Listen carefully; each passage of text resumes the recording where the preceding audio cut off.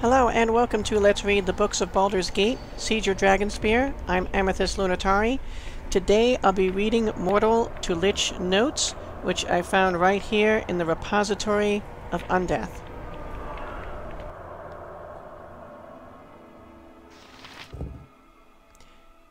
To complete the ritual of becoming, the subject's soul must be placed into their desired phylactery, either by the subject or the magician performing the ritual.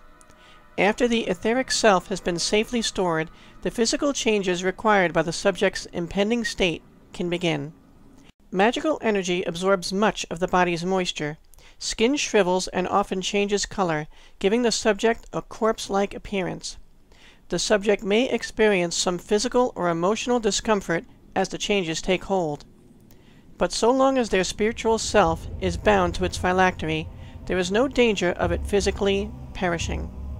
In fact, once the transformation is complete, the subject's continued physical existence can only be ended via the phylactery's destruction.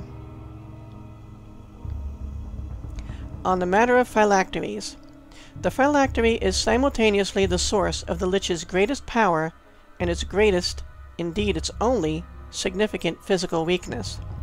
Any independent Lich should take pains to ensure its phylactery is kept secure at all times. Though not strictly necessary, the transition from mortal to lich is more easily achieved if the item which will store the transformee's soul, i.e. the phylactery, is something with which they are familiar.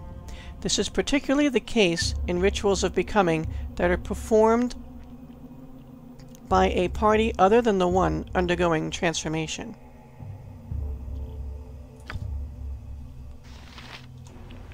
Thank you for listening to Let's Read the Books of Baldur's Gate, Siege of Dragonspear, Mortal to Lich Notes.